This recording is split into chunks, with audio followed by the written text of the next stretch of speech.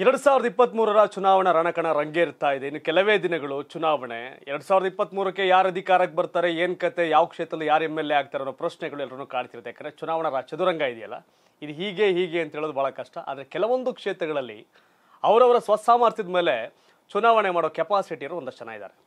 ನಿಮ್ಗೆ ಇನ್ನೊಂದು ವಿಷಯ ಗೊತ್ತಿರಲಿ ಇನ್ನೂರ ಇಪ್ಪತ್ನಾಲ್ಕು ಕ್ಷೇತ್ರಗಳಲ್ಲಿ ಚುನಾವಣೆ ಇನ್ನೂರ ಇಪ್ಪತ್ನಾಲ್ಕು ಕ್ಷೇತ್ರಕ್ಕೂ ಆಗುತ್ತೆ. ಆದರೆ ಈಗಾಗಲೇ ಒಂದಷ್ಟು ಕ್ಷೇತ್ರದಲ್ಲಿ ಫಲಿತಾಂಶ ಫಿಕ್ಸ್ ಗೆಲ್ತಾರೆ. ಯಾವುದೇ ರೀತಿ ವ್ಯತ್ಯಾಸಗಳಿಲ್ಲ. ವ್ಯಕ್ತಿ ನೋಡಿ ಓಟ್ ಹಾಕುವಂಥ ಸನ್ನಿವೇಶ ನಿರ್ಮಾಣ ಆಗಿರ್ತಕ್ಕಂಥದ್ದು ಒಂದಷ್ಟು ಕ್ಷೇತ್ರಗಳಿದೆ. ಮತ್ತು ಯಾರೋ ಲೀಡ್ರು ಬಂದರೆ ಕಡೆಗಳಲ್ಲಿ ಕೈ ಬೀಸ್ಬಿಟ್ರೆ ಓಟಾಗಿ ಕನ್ವರ್ಟ್ ಆಗ್ಬಿಡುತ್ತೆ ಅನ್ನೋ ಒಂದಷ್ಟು ಜನ ಇರ್ತಾರೆ. ಆದರೆ ಕೆಲವೊಂದು ಕ್ಷೇತ್ರ ಆ ಥರ ಏನಿಲ್ಲ. ಅವರವರು ಕೆಲಸ ಮಾಡಿ ಭದ್ರಾ ಮಾಡ್ಕೊಳ್ಳೋಂಥ ಕ್ಷೇತ್ರಗಳು ಒಂದಷ್ಟು ಇದೆ. ಅದರಲ್ಲಿ ಒಂದು ಅಂತ ಹೇಳ್ಬೋದು ತಪ್ಪೇನಿಲ್ಲ. ಕಡೂರು ವಿಧಾನಸಭಾ ಕ್ಷೇತ್ರದ ಬಿಜೆಪಿ ಶಾಸಕರಾದಂಥ ಬೆಳ್ಳಿ ಪ್ರಕಾಶ್ ಜೊತೆ ಇದ್ದಾರೆ. ಸರ್ ನಮಸ್ಕಾರ. ಕಾರ್ಯಕ್ರಮ ಸ್ವಾಗತ. ಹೇಗಿದ್ದೀರಿ? ಚೆನ್ನಾಗಿದೆ. ಹೆಂಗೆ ನಡೀತಾ ಇದೆ ಚುನಾವಣೆ? ಚುನಾವಣೆ ನಡೀತಾ ಇದೆ. ಹಾಂ. ಚುನಾವಣೆ ಅದ್ರ ಪಾಡಿಗೆ ಅದು ನಡೀತಾ ಇದೆ. ನಾವು ಅದರಲ್ಲಿ ನಿರಂತರವಾಗಿ ತೊಡಗಿಸ್ಕೊಂಡಿದ್ದೀವಿ ವಿಶೇಷವಾಗಿ ತೊಡಗಿಸ್ಕೊಳ್ಳೋದಕ್ಕೆ ಚುನಾವಣೆ ನೀತಿ ಸಹಿತಿ ಜಾರಿ ಆದಮೇಲೆ ಇನ್ನು ಅದ್ರದ್ದು ರಂಗೇರುತ್ತೆ ಈಗಾಗಲೇ ಸಾಕಷ್ಟು ಕಾರ್ಯಕ್ರಮಗಳನ್ನು ಭಾರತೀಯ ಜನತಾ ಪಕ್ಷದಿಂದ ಕೊಟ್ಟಿರುವಂತ ಕೊಟ್ಟಿರುವಂಥ ಎಲ್ಲ ಕಾರ್ಯಕ್ರಮಗಳನ್ನ ಮಾಡಿದ್ದೀವಿ. ಜನಸಂಕಲ್ಪ ಯಾತ್ರೆ ಅತ್ಯಂತ ಯಶಸ್ವಿಯಾಗಿದೆ. ಅದಾದ್ಮೇಲೆ ಮೊನ್ನೆ ಯುವ ಸಂಗಮ ಆ ಕಾರ್ಯಕ್ರಮಕ್ಕೂ ಭಾಳ ಯಶಸ್ವಿಯಾಗಿ ಮಾಡಿದ್ದೀವಿ. ಕಡೂರಿಗೆ ಕೊಟ್ಟಂಥ ಮಹಿಳಾ ಮೋರ್ಚಾ ಕಾರ್ಯಕ್ರಮವನ್ನು ಯಶಸ್ವಿಯಾಗಿ ಮಾಡಿದ್ದೀವಿ. ನಿರಂತರವಾಗಿ ಕ್ಷೇತ್ರದಲ್ಲಿ ಅನೇಕ ಕಾಮಗಾರಿಗಳ ಇನ್ನೂ ಬಂದಿರುವಂಥದ್ದು ಕೊನೆ ಹಂತದಲ್ಲಿ ಬಂದಿರುವಂಥ ಕಾಮಗಾರಿಗಳ ಪೂಜೆ ಮಾಡಿ ಕಾಮಗಾರಿನ ಚಾಲನೆ ಮಾಡ್ತಾ ಇದ್ದೀವಿ. ಹಿಂದೆ ಆದಂಥ ಕಾಮಗಾರಿಗಳು ಸಂಪೂರ್ಣ ಆಗಿದೆ. ಎಲ್ಲ ಉದ್ಘಾಟನೆ ಮಾಡ್ತಿದ್ದೀರಿ. ಎಲ್ಲ ಉದ್ಘಾಟನೆ ಮಾಡ್ತಾ ಇದ್ದೀವಿ. ಕಾಮಗಾರಿ ಚಾಲನೆ ಕೊಟ್ಟಿದ್ದೀವಿ. ಉದ್ಘಾಟನೆ ಏನು ಮಾಡಲ್ಲ. ಕಾಮಗಾರಿ ಆಗುತ್ತೆ ಅದು ಲೋಕಾರ್ಪಣೆ ಆಗುತ್ತೆ ಅದ್ರ ಪಾಡಿಗೆ ಅದಕ್ಕೆ. ಅದಕ್ಕೆ ಕಾಮಗಾರಿ ಸಂಪೂರ್ಣ ಆದಮೇಲೆ ಅದ್ರದ್ದು ಮತ್ತೆ ಉದ್ಘಾಟನೆ ಅನ್ನುವಂಥದ್ದು ಪರಿಪಾಠ ನಾನೇನು ಇಟ್ಕೊಂಡಿಲ್ಲ. ಜಸ್ಟ್ ಗುದ್ಲಿ ಪೂಜೆ ಅಷ್ಟೇ? ಗುದ್ಲಿ ಪೂಜೆ. ಅದು ಅದ್ರ ಕೆಲಸ ಅದ್ರ ಪಾಡಿಗೆ ಅದ್ರ ಕೆಲಸ ಆಗುತ್ತೆ. ಓಕೆ. ಮಧ್ಯ ಮಧ್ಯದಲ್ಲಿ ನಾವು ಹೋಗಿ ವೀಕ್ಷಣೆ ಮಾಡ್ತಾ ಇರ್ತೀವಿ. ಪ್ರೋಗ್ರೆಸ್ ಅನ್ನ ಎವ್ರಿ ವೀಕು ಕೇಳ್ತಾ ಇರ್ತೀವಿ ಏನಾಗ್ತದೆ ಏನು ಹೋಗ್ತಾ ಇದೆ ಅಂತ. ಪ್ರೋಗ್ರೆಸ್ ಎಲ್ಲ ಪ್ರತಿಯೊಂದು ವರದಿನ ನಮ್ಮ ಅಧಿಕಾರಿ ಮಿತ್ರರು ಕೊಡ್ತಾರೆ. ಮತ್ತು ನಮ್ಮ ಸ್ನೇಹಿತರು ಆ ಭಾಗದ ನಮ್ಮ ಮುಖಂಡರುಗಳು ಏನಾಗ್ತಾ ಇದೆ ಏನು ಹೋಗ್ತಾ ಇದೆ ಅನ್ನುವಂಥ ವರದಿನ ಕೊಡ್ತಾರೆ. ವರದಿಯ ಪ್ರಕಾರ ಏನಾದರೂ ವಿಳಂಬ ಆಗಿದರೆ ಸಂಬಂಧಪಟ್ಟಂಥ ಗುತ್ತಿಗೆದಾರರಿಗೆ ಎಚ್ಚರಿಕೆ ಕೊಡುವಂಥದ್ದು ಬೇಗ ಕೆಲಸವನ್ನು ಮಾಡುವಂಥದ್ದು ಇದನ್ನೆಲ್ಲ ಹೇಳುವಂಥದ್ದು ನಾವು ಪ್ರತಿ ವಾರ ಮಾಡೋದು ಮಾಡೋದ್ರ ಮೂಲಕ ಏನು ನಮ್ಮ ಅಧಿಕಾರದಲ್ಲಿ ಏನು ಆಡಳಿತಾತ್ಮಕವಾಗಿ ಮತ್ತು ಏನು ಅಭಿವೃದ್ಧಿಯ ವಿಚಾರದಲ್ಲಿ ಅಭಿವೃದ್ಧಿಯ ಪಥದಲ್ಲಿ ತೆಗೆದುಕೊಂಡು ಹೋಗುವಂಥ ನಿಟ್ಟಿನಲ್ಲಿ ಹೇಳುವಂಥದ್ದು ಪರಿಪಾಠ ಇಟ್ಕೊಂಡಿದ್ದೀವಿ. ಸಾರ್ವತ್ರಿಕ ಚುನಾವಣೆಯಲ್ಲಿ ಬಿಜೆಪಿ ಗೆದ್ದಿರೋದು ಮೊದಲ ಬಾರಿ. ಅಂದ್ರೆ ಬೈ ಎಲೆಕ್ಷನ್ ವಿಶ್ವನಾಥ್ ಅವರು ಗೆದ್ದಿದ್ರು ಕಡೂರಲ್ಲಿ. ಅದನ್ನು ಹೊರತುಪಡಿಸಿದ್ರೆ ಸಾರ್ವತ್ರಿಕ ಚುನಾವಣೆಯಲ್ಲಿ ಬಿಜೆಪಿ ಖಾತೆ ತೆರೆದಿದ್ದು ಬೆಳ್ಳಿ ಪ್ರಕಾಶ್ ಅವರು. ಹೌದು. ಈ ಕಳೆದ ಏನು ಹದಿನೆಂಟರ ಚುನಾವಣೆಯಲ್ಲಿ ಗೆದ್ದಾಗ. ಜನತಾ ಪರಿವಾರದ ತೆಕ್ಕೆಲೆ ಇತ್ತು ಕ್ಷೇತ್ರ ಒಂದು ದೀರ್ಘಕಾಲ. ಅದೇ ಅದೇ ಅದು ಯಾವ ರೀತಿ ಲೆಕ್ಕಾಚಾರದಲ್ಲಿ ಬಿಜೆಪಿಗೆ ಜನ ಕೈ ಹಿಡಿದ್ರು. ಬೆಳ್ಳಿ ಪ್ರಕಾಶ್ ಅವರು ಕೆ ಜೆ ಪಿಯಿಂದ ಕಂಟೆಸ್ಟ್ ಮಾಡಿದರು ಹದಿಮೂರಲ್ಲಿ. ನಿಮಗೆ ಕಾನ್ಫಿಡೆನ್ಸ್ ಇತ್ತಾ? ಜನ ಹದಿನೆಂಟರಲ್ಲಿ ಈ ಮಟ್ಟಿಗೆ ಸಪೋರ್ಟ್ ಮಾಡ್ತಾರೆ ಅಂತ? ಅಲ್ಲ ನಾನು ಎರಡು ಸಾವಿರದ ಹದಿಮೂರು ಚುನಾವಣೆಯಲ್ಲಿ ಸನ್ಮಾನ್ಯ ಶ್ರೀ ಯಡಿಯೂರಪ್ಪ ಅವರ ನೇತೃತ್ವದ ಕೆ ಜಿ ಪಿ ಪಕ್ಷದಿಂದ ನಾನು ಸ್ಪರ್ಧೆ ಮಾಡಿದ್ದೆ. ಸ್ಪರ್ಧೆಯಲ್ಲಿ ನಾನು ಪರಾಭವ ಹೊಂದಿದ್ರು. ನಾನು ಧೃತೀಕರಣದಲ್ಲೇ. ಚುನಾವಣೆ ಫಲಿತಾಂಶದ ಮಾರನೇ ದಿನದಿಂದಲೇ ನನ್ನ ಕಚೇರಿನ ನಾನು ತೆಗೆದುಕೊಂಡು ನಿರಂತರವಾದಂಥ ಸೇವೆನ ಸಲ್ಲಿಸ್ತಂಥದ್ದು ನನ್ನ ಹತ್ತಿರ ಬರುವಂಥವರಿಗೆ ನಾನು ಹಾಕಿದ್ದೆ. ನನ್ನ ಕಚೇರಿಯ ಮುಂದೆ ಒಂದು ಬೋರ್ಡನ್ನು ಹಾಕಿದ್ದೆ. ಧೈರ್ಯ ಧೈರ್ಯವಿದ್ದವರಿಗೆ ಮಾತ್ರ ಪ್ರವೇಶ ಅಂತ. ಯಾಕಂದರೆ ನಿಮ್ಮ ಹತ್ರ ಬಂದು ನಮಗೆ ತೊಂದರೆ ಆಯಿತು ಹಾಗಾಯಿತು ಹೀಗಾಯಿತು ಅನ್ನೋರು ಯಾರೂ ನನ್ನ ಹತ್ರ ಬರಬೇಡ್ರಪ್ಪ. ನನ್ನ ಹತ್ರ ಬರೋವಂಥವ್ರು ಧೈರ್ಯವಾಗಿದ್ದರೆ ಏನು ಏನು ಎಲ್ಲದಕ್ಕೂ ಹೆದರದಲ್ಲೇ ಇದ್ದರೆ ತಾವು ನನ್ನ ಕಚೇರಿ ಒಳಗೆ ಬನ್ನಿ.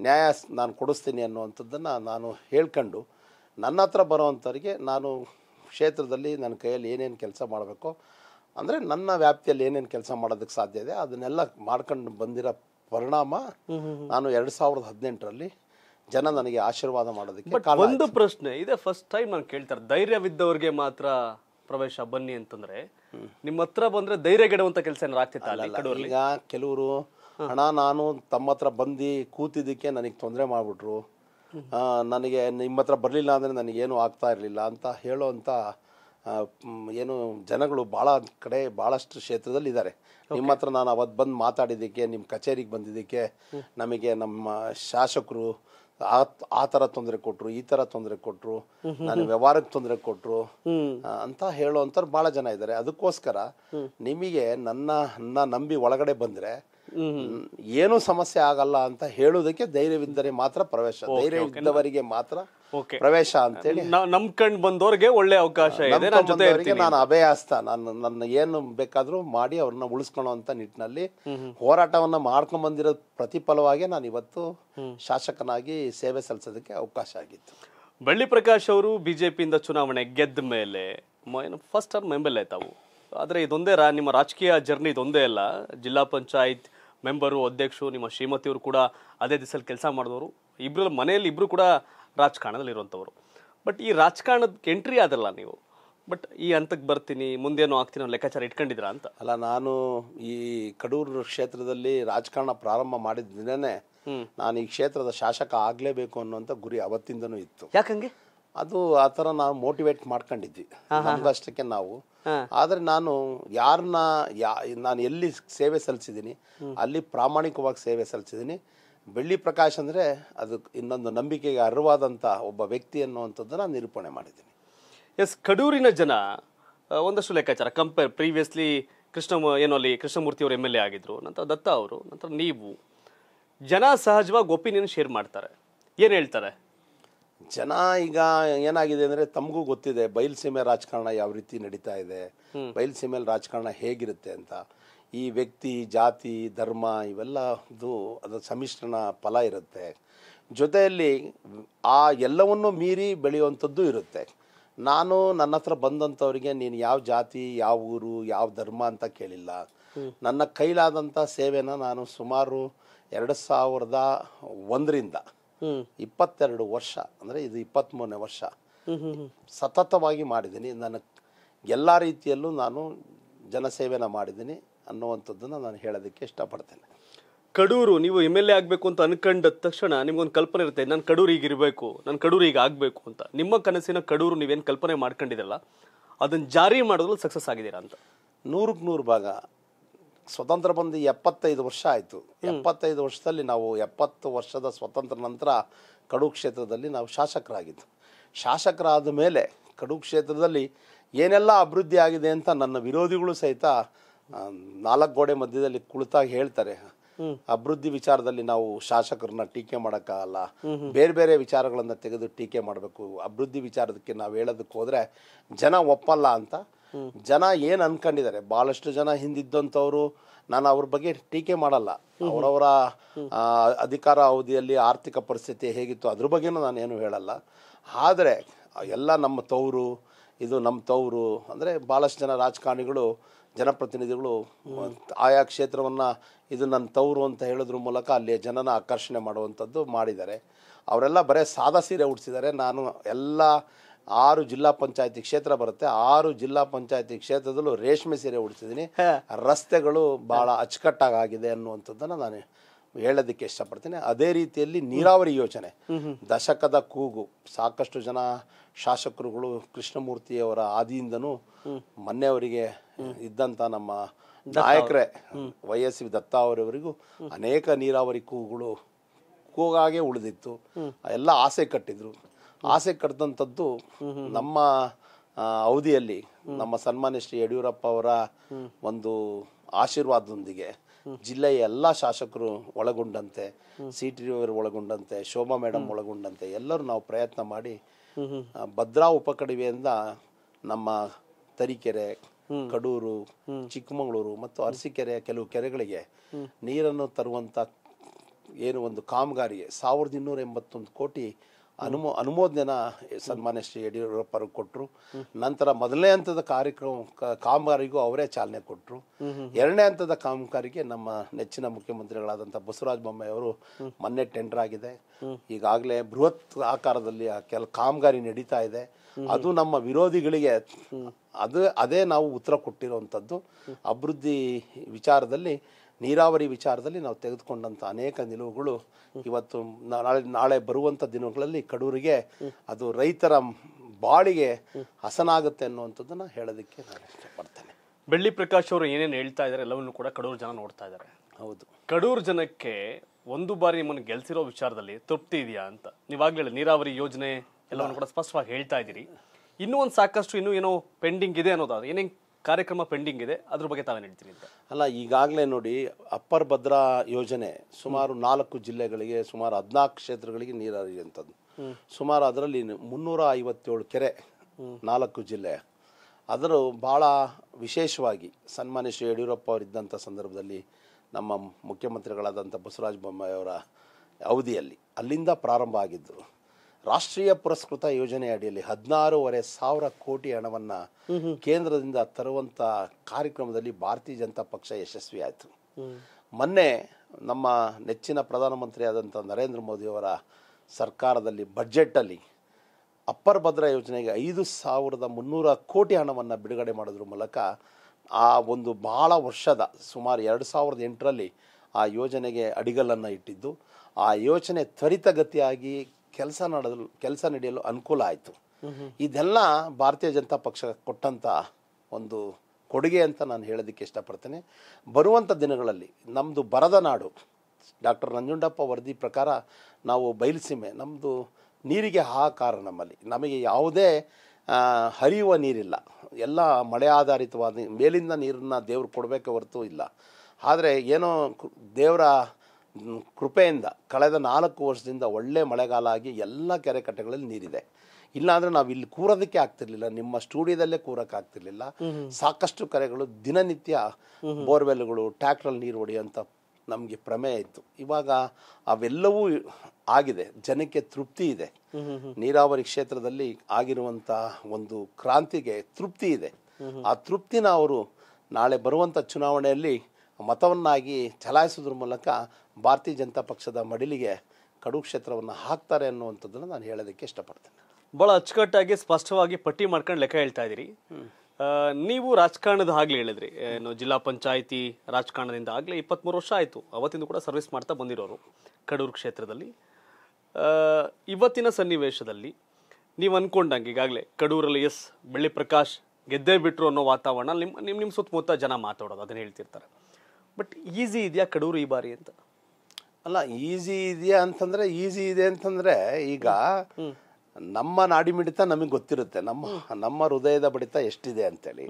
ನಮ್ಮ ಹೃದಯದ ಬಡಿತದ ಪ್ರಕಾರ ನಾವು ವಿಧಾನಸೌಧನ ತಲುಪೇ ತಲುಪ್ತೀವಿ. ಭಾರತೀಯ ಜನತಾ ಪಕ್ಷ ಕಮಲದ ಹೂವು ಅರಳೆ ಅರಳುತ್ತೆ ಅನ್ನುವಂಥದ್ದು ಆತ್ಮವಿಶ್ವಾಸದಿಂದ ಹೇಳ್ತೀನಿ. ಎಸ್ ಇನ್ನೊಂದು ವಿಚಾರ ಅಂದ್ರೆ ನಿಮ್ದು ಕಡೂರು ವಿಧಾನಸಭಾ ಕ್ಷೇತ್ರ ಚಿಕ್ಕಮಗಳೂರು ಜಿಲ್ಲೆಗೆ ಸೇರಿದ್ರು ಸಹ. ಚಿಕ್ಕಮಗಳೂರು ಜಿಲ್ಲೆ ಆದ್ರು. ಲೋಕಸಭೆ ಬರುತ್ತೆ ಹಾಸನ ವಿಧಾನ ಹಾಸನ ಲೋಕಸಭೆಗೆ ಸೇರುತ್ತೆ. ಹಾಸನದ ಎಂಟು ಲೋಕಸಭಾ ಒಂದು ಲೋಕಸಭಾ ಕ್ಷೇತ್ರ ವ್ಯಾಪ್ತಿ ಎಂಟು ವಿಧಾನಸಭಾ ಕ್ಷೇತ್ರ ವ್ಯಾಪ್ತಿ ನಿಮ್ಮದು ಕೂಡ ಒಂದು. ಕಳೆದ ಬಾರಿ ಬಿ ಜೆ ಪಿಗೆ ಲೋಕಸಭಾ ಚುನಾವಣೆಯಲ್ಲಿ ಬಿ ಜೆ ಪಿಗೆ ಲೀಡನ್ನು ಕೊಡಿಸಿದ್ರಿ ವರ್ಸಸ್ ಅಂದರೆ ಜೆ ಡಿ ಎಸ್ಗೆ ಕಾಂಗ್ರೆಸ್ ಸಪೋರ್ಟ್ ಮಾಡಿತ್ತು. ಅಷ್ಟಾಗಿಯೂ ಸಹ ಬಿ ಜೆ ಪಿ ಲೀಡ್ ಆಗಿತ್ತು. ಹೆಂಗ್ ಸಾಧ್ಯ ಆಯ್ತು ಅದು? ಹೆಂಗ್ ಸಾಧ್ಯ ಸಾಧ್ಯ ಆಯಿತು ಅಂದರೆ ನಾವು ಆ ಚುನಾವಣೆ ಏನು ಲೋಕಸಭಾ ಚುನಾವಣೆ ಬಂತು ಆ ಚುನಾವಣೆ ಬಂದಂಥ ಸಂದರ್ಭದಲ್ಲಿ ಸಮ್ಮಿಶ್ರ ಸರ್ಕಾರ ಕರ್ನಾಟಕದಲ್ಲಿ ಆಡಳಿತದಲ್ಲಿತ್ತು. ಆ ಒಂದು ವರ್ಷದಲ್ಲಿ ನಾವುಗಳು ಜನಗಳಿಗೆ ನಮ್ಮ ವತಿಯಿಂದ ಆದಂಥ ಅನೇಕ ಸಾಕಾರಗಳು ಸಹಕಾರಗಳು ಅವರಿಗೆ ಸಹಾಯ ಮತ್ತು ನಿರಂತರವಾಗಿ ಜನಗಳ ಜೊತೆ ಇರುವಂಥದ್ದು. ಮತ್ತು ನಮ್ಮ ಎಲ್ಲೆಲ್ಲಿ ನಾವು ನಮ್ಮ ಇನ್ನೂರ ಐವತ್ತು ಮತಗಟ್ಟೆಗಳಲ್ಲಿ ಎಲ್ಲೆಲ್ಲಿ ನಾವು ಅತ್ಯಂತ ಹೆಚ್ಚಿನ ಮತವನ್ನು ತೆಗೆದುಕೊಂಡಿದ್ವಿ ಆ ಮತಗಟ್ಟೆಗಳಲ್ಲಿ ಅದಕ್ಕಿಂತ ಅಧಿಕವಾಗಿ ಮತಗಳು ಬಂದಂಥದ್ದು. ಮತ್ತು ಏನು ನ ಸಹಜವಾಗಿ ಎರಡು ನಗರಗಳು ಬರುತ್ತೆ ನಮಗೆ. ಎರಡು ಪುರಸಭೆ ಬರೋದ್ರಿಂದ ಕಡೂರು ಮತ್ತು ಬೀರೂರು ಟೌನ್.